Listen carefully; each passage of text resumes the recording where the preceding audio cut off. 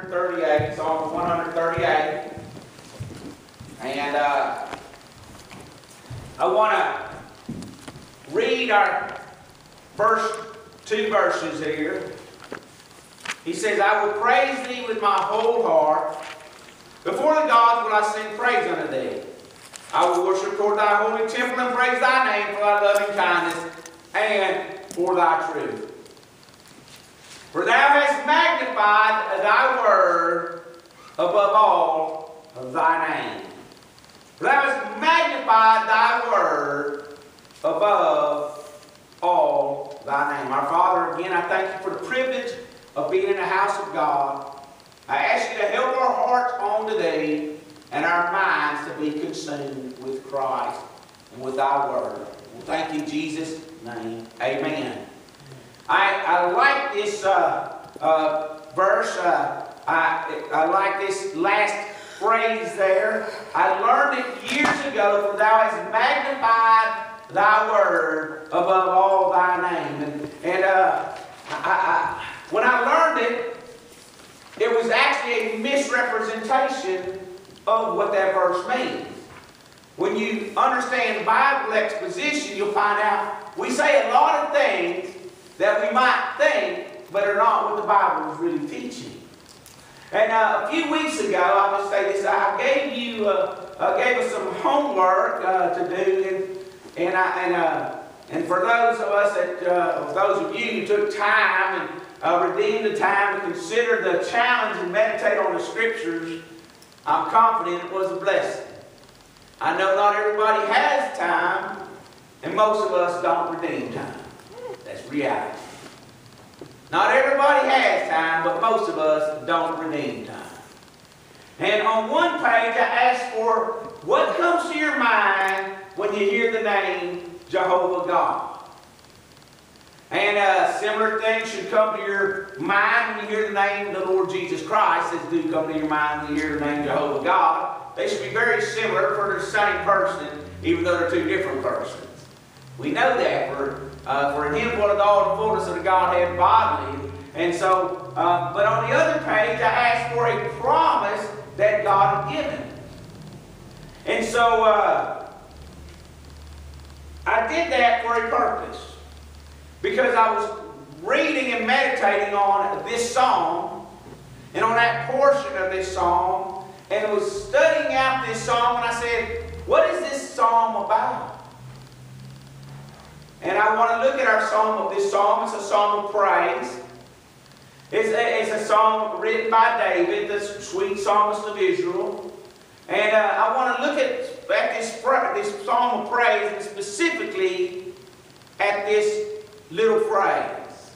For thou hast magnified thy word above all thy name. The first time I heard this phrase uh, into me. Uh, I heard a man telling me uh, that God has magnified the Bible over his name.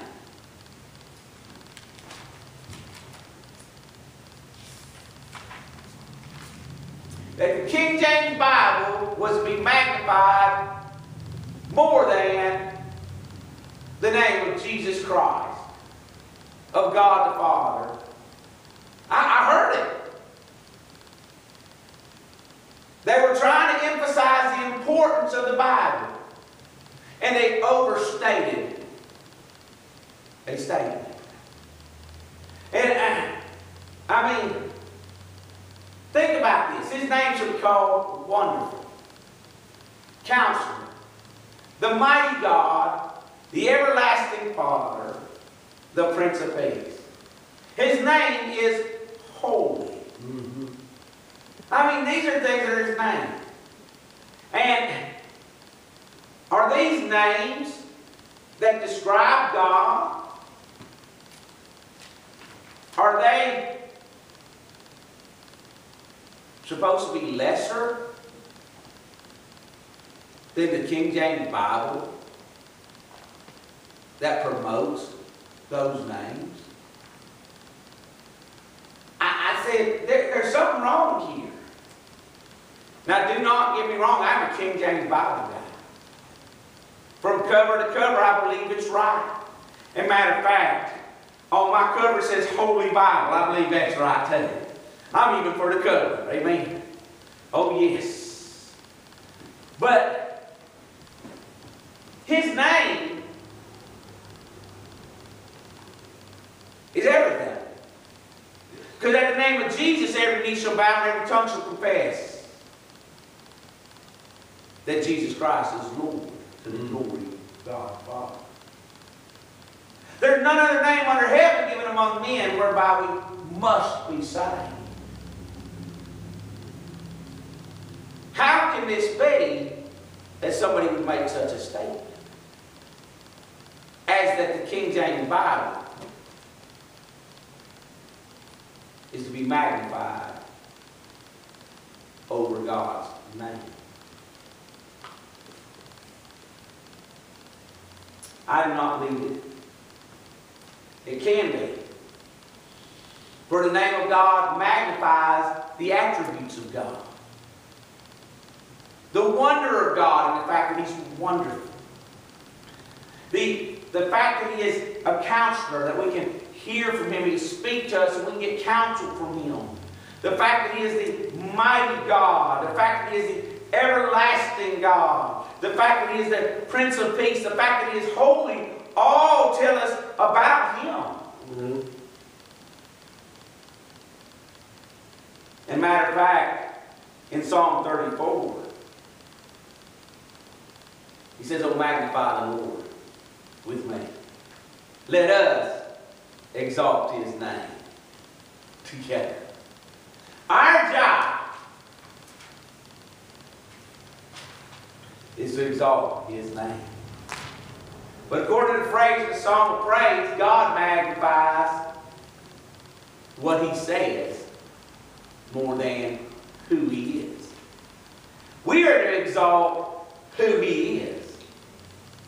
But he exalts what he says. For he does not say, Thou shalt magnify thou my word above my name. He said, For thou hast magnified thy word above all thy name. God magnifies what he says. We're to magnify his name. We're to magnify who he is. Our responsibility, not to magnify what he says, but to magnify who he is. Why do we praise the person of God? The person of the Lord Jesus Christ. Do we magnify him for what he says? I trow not. That's good Bible. I trow not. No is the answer. Not because of what he says. We magnify him because of what he does. We do not praise God because he makes promises. We praise God because he keeps promises. Because I know many a person that make promises. I'll take the trash out. Then you come home and the trash is not out. Y'all ain't never believe that. You just got to have kids to find out that that can be true. And uh, I, I, I'll take care of that. And you come to find out it doesn't get taken care of. Y'all ever, ever seen that kind of stuff? Just because somebody makes promises, what they say, is not why you praise. It's because of what they did. God is because of what He does. You can notice the person of praise is God. I will magnify, I will praise thee. You can find a passion of praise here with my whole heart. And you can find the place of praise is before the God, before everything else. In the presence of everything else, everyone that exalts himself, who thinks they're somebody, who thinks they're some kind of judge or right, have a right, I'm going to praise him. But why is praised in verse number two? For thy loving kindness and for thy truth. Not for who you are, but because you do what you say. Because you showed loving kindness, mercy, when I was forsaken, when I was put aside, when I, when I was fallen. You showed loving kindness. You showed mercy. When I failed, you showed loving kindness. Mm-hmm. You never left me nor forsook me.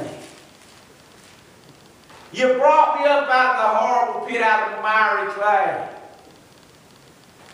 I can praise you for all that you've done because you kept your word.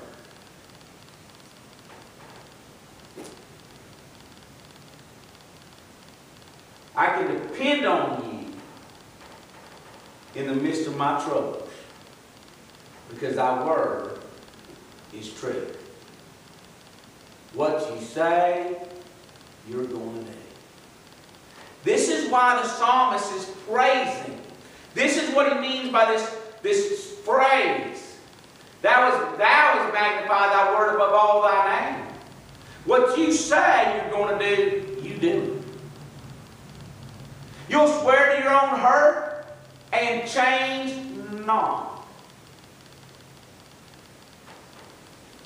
Even though it cost you your only begotten Son to redeem wretched, sinners who you made to love you and to worship you. But when they went away, you said, I'll do it anyway. Because that was magnify thy word above all. And let me say, you would ruin your name if you did not magnify your word. If God was a God who could not keep his promises and would not keep his promises, what good kind of what good is he? If I could not depend on him in the midst of my distress, what good is he? If I thought he's a God that could lie and would lie, If I thought that I could read the Word of God, that it says, I've given them eternal life and they shall never perish, neither shall any man pluck them out of my hand. And if I read that and I said, that's good, I'll never perish. Nobody, no man, not even myself can pluck myself out of his hand. I can't do it. I'll never perish. And then God says, Oh, that's not true. I see, I said no man can pluck you out of my hand, but you can jump out of my hand. Oh, oh, oh, oh, oh I'll never perish. I guess people that want to sit there and say you lose your salvation, say you get out of his hand, didn't read that first part. They shall never perish. Don't read that last part, neither shall any man pluck them out of my hand. Yep. They say, well, you didn't know he plucked you, you jumped out. Well, I'm just never going to perish. I ain't too worried about that last part. Amen. Either God's telling the truth or God's telling lies. God cannot lie. Amen. Come on. I'm just trying to get you to understand.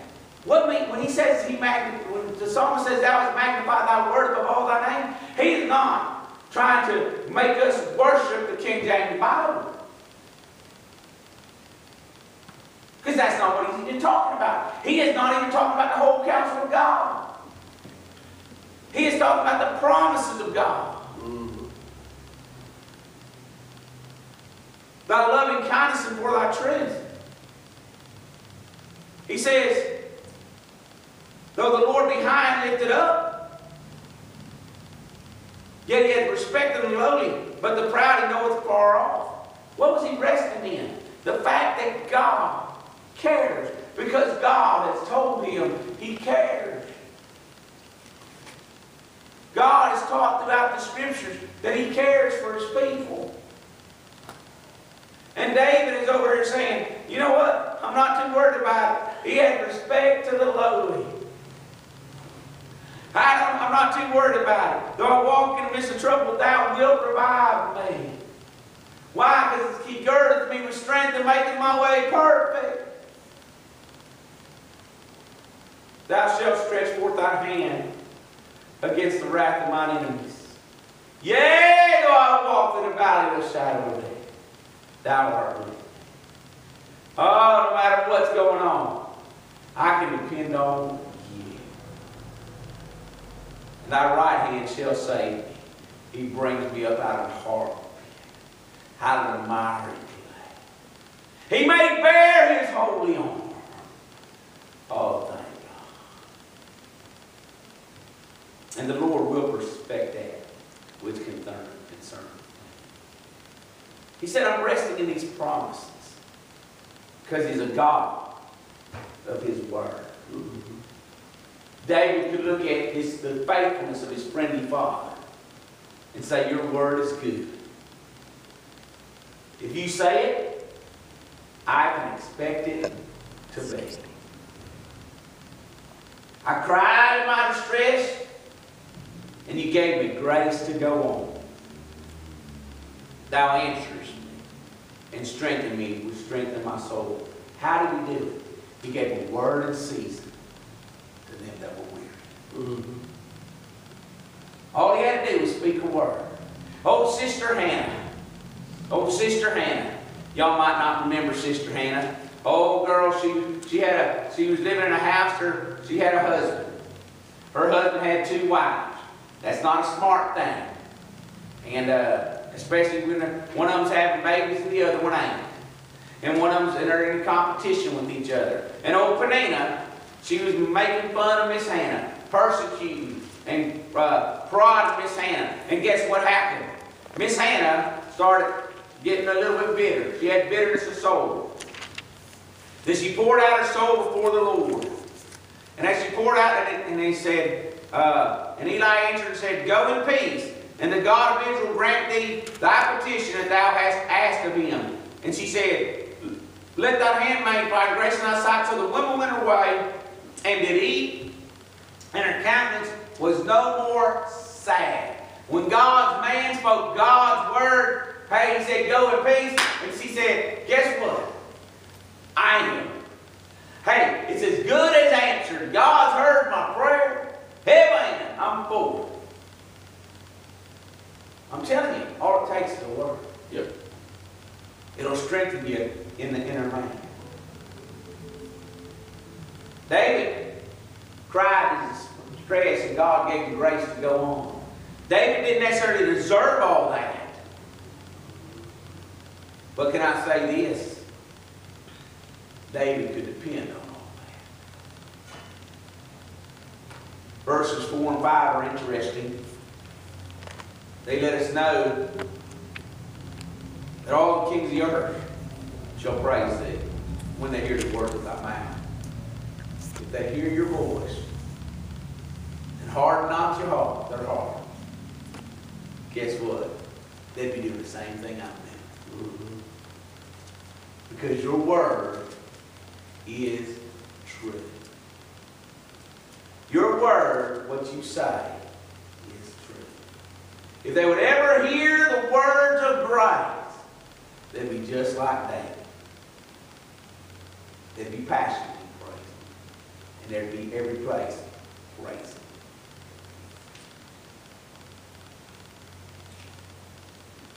He's our protector. No weapon formed against thee shall prosper. Isaiah 54, 17.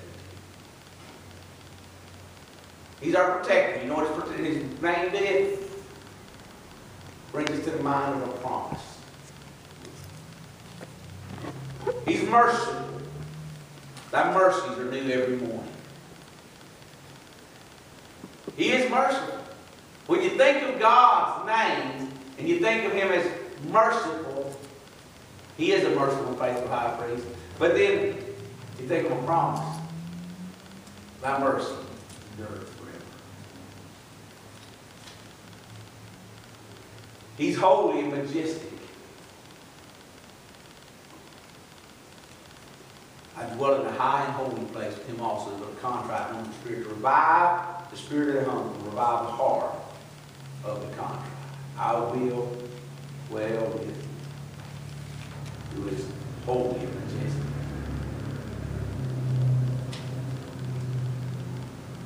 He is salvation. Behold, God is my salvation. I will trust and I'll be afraid. Why am I not going to be afraid? Because the Lord Jehovah is my strength and my song. He also has become my salvation. When you think on the names of God, about who He is, it ought to bring you to the promises of God, of what He's said He'll do. And then it brings you back to the plans, or the, times of God, your, and your, the places you went with God, how God has done all these things for you. My friend, dear brethren, He's a God of His Word. He's a God you can depend on. He's a God you can trust. He's a God that cannot lie. And what He says, He does. He's not a man that He should lie. Oh, no. Or a son of man He should repent. He doesn't change His mind about doing what He says He's going to do. He might not be able to do everything He said He's going to do right at that moment. But He made a promise to Israel. I will give you this land. But He said, not this generation. You're going to die in the wilderness. But I'm still a God on word. Your children will go in the land. And they did. Can you rest in His promises? When you think about that, God magnifies His word, what He says, over His name. Because what He says is what He does.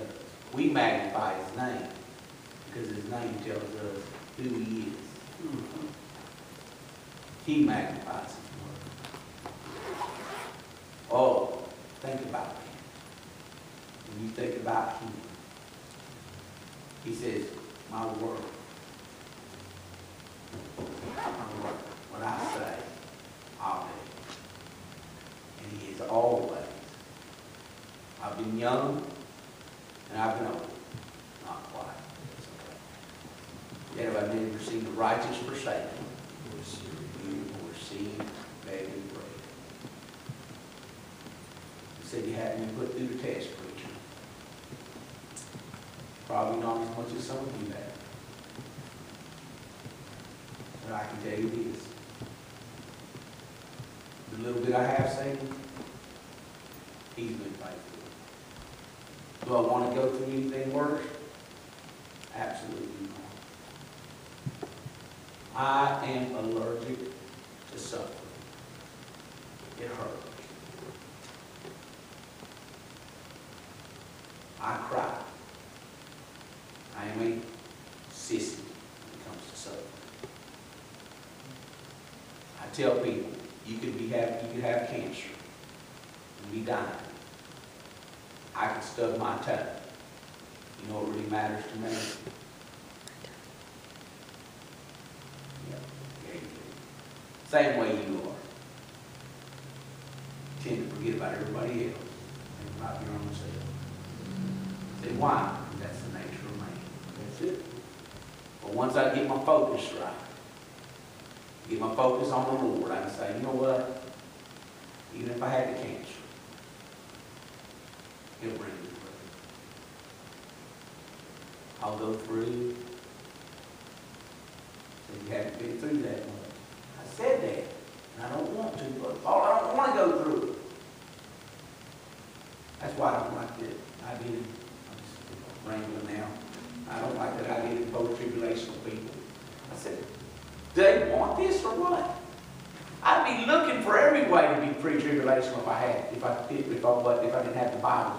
I'd be twisting the scripture to make myself pre-tribulational. But the scripture's already pre-tribulational on the rapture. That's So. I don't have to twist it. Yep. But even, I mean, I don't want to be, I don't like suffering. Yeah, come on. What kind of masochist are you? who says, I want to go through this, I want to prove that I'm a Christian. I don't have to prove it, I can. There I you don't have to prove I'm a Hivner. I'm a Hivner. Say, how do you know? I got the paper that told me I am. They said, well, you better prove it. I said, why? Mama believes I am, Daddy believes I am. My wife believes I am, my sisters and brothers believe I am. Everybody who meets me and meets my family believes I am. Guess what? Why am I going to try to prove it? Amen. I don't have to prove I'm a Christian. I am. Amen. I was born again. I was born. My father believes I am. Amen. Come on. I believe I am. I believe the book says I am. Good. 99% of the Christians I know think I believe I am. What am I trying to prove to the world that I'm a Christian? Why? I'm just going to be a Christian. I am one. A dog doesn't know how to prove they're a dog by barking. They just bark because they're a dog. Right. They don't meow no. like a cat. Thank goodness. Brother John, cows don't meow, do they? Oh, okay. Mules? Mules meow? Oh, Lord, I thank you for the day. Thank you for people of God. We certainly love you.